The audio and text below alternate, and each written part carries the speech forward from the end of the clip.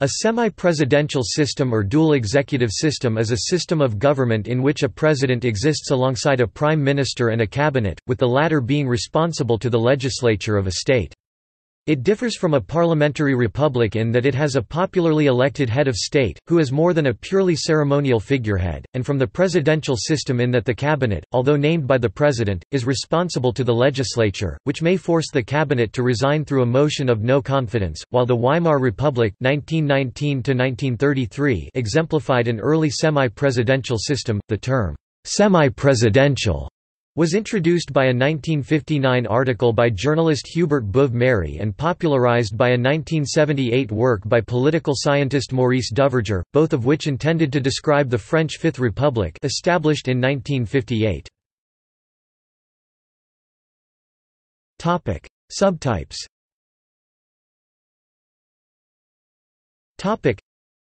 there are two separate subtypes of semi-presidentialism, premier presidentialism and president parliamentarism. Under the premier presidential system, the prime minister and cabinet are exclusively accountable to parliament. The president chooses the prime minister and cabinet, but only the parliament may remove them from office with a vote of no confidence.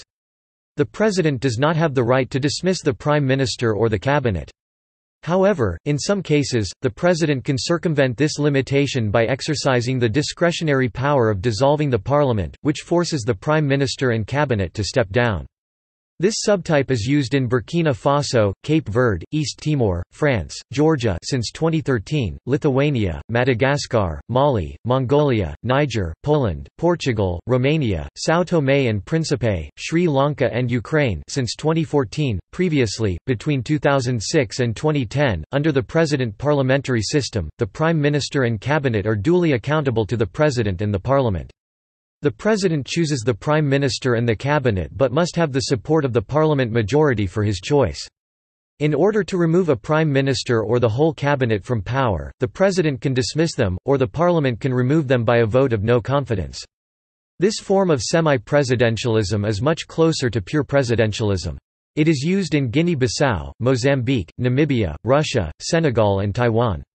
It was also used in Ukraine, first between 1996 and 2005, and again from 2010 to 2014, Georgia between 2004 and 2013, and in Germany during the Weimarer Republik Weimar Republic, as the constitutional regime between 1919 and 1933 is called unofficially. Division of powers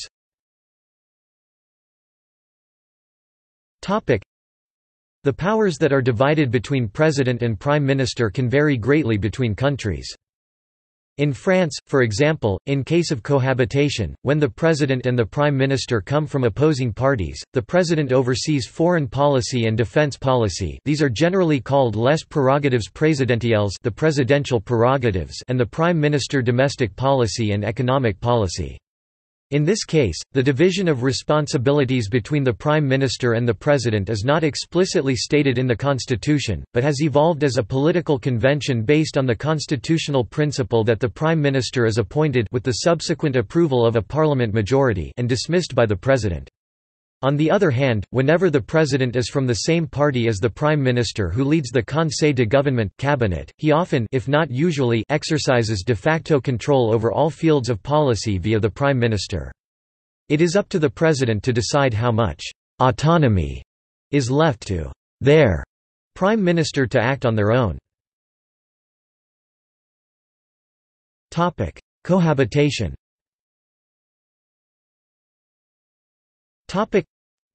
Semi-presidential systems may sometimes experience periods in which the president and the prime minister are from differing political parties. This is called cohabitation, a term which originated in France when the situation first arose in the 1980s. Cohabitation can create an effective system of checks and balances or a period of bitter and tense stonewalling, depending on the attitudes of the two leaders, the ideologies of their parties, or the demands of their constituencies. In most cases, cohabitation results from a system in which the two executives are not elected at the same time or for the same term. For example, in 1981, France elected both a socialist president and legislature, which yielded a socialist premier. But whereas the president term of office was for seven years, the National Assembly only served for five. When, in the 1986 legislative election, the French people elected a right of centre assembly, socialist President Mitterrand was forced into cohabitation with rightist Premier Jacques Chirac. However, in 2000, amendments to the French constitution reduced the length of the French president's term from seven to five years.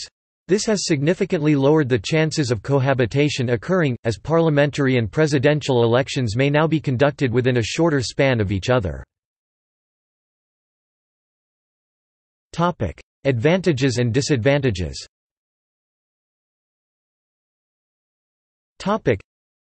the incorporation of elements from both presidential and parliamentary republics brings some advantageous elements along with them but, however, it also faces disadvantages related to the confusion from mixed authority patterns. Advantages Providing cover for the president it can shield the president from criticism and the unpopular policies can be blamed on the prime minister as the latter runs the day-to-day -day operations of the government and carrying out the national policy set forth by the president, who is the head of state that is focusing on being the national leader of a state and in arbitrating the efficiency of government authorities, etc. Ability to remove an unpopular prime minister and maintain stability from the president's fixed term.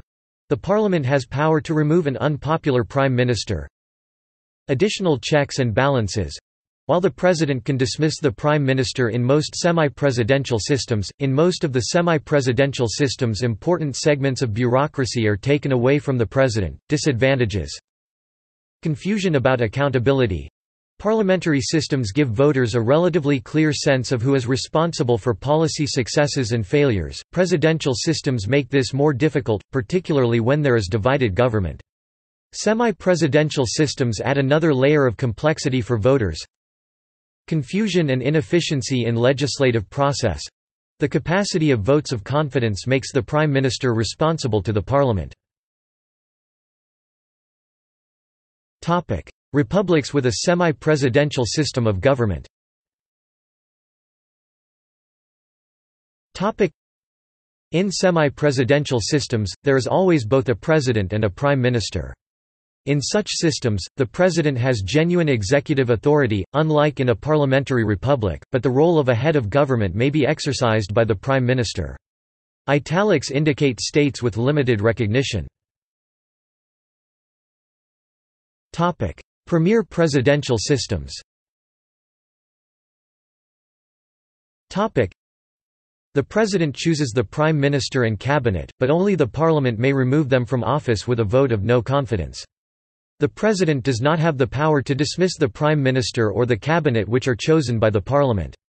The President does not have the power to directly dismiss the Assembly, but the presidentially appointed Cabinet does. President parliamentary systems The President chooses the Prime Minister without the confidence vote from the Parliament. In order to remove a prime minister or the whole cabinet from power, the president can dismiss the prime minister or the assembly can remove the prime minister by a vote of no confidence, but the president can dissolve the parliament. See also.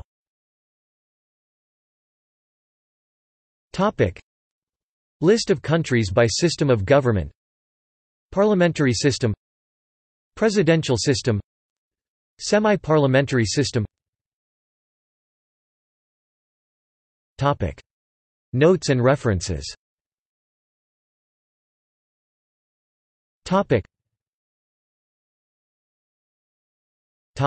External links